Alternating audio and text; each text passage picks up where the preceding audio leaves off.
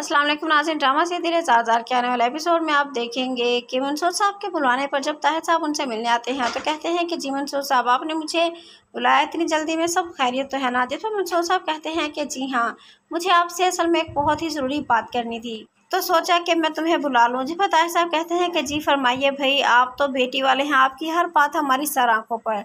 जब मंसूर साहब कहते हैं कि बस मुझे इतना ही कहना था कि मैं चाहता हूँ कि शादी से पहले ना आप लोग अपना जो घर है ना, वो मेरी बेटी के नाम कर दे। ये बात सुनकर ताया साहब कहते हैं कि ये आप क्या कह रहे हैं? हमारे पास एक इकलौता घर ही तो है, अगर वो ही हम नाम कर देंगे।